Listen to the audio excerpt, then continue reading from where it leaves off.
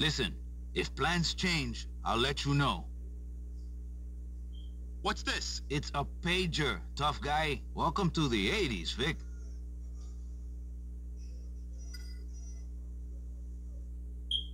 About to get Sierra Hotel in here.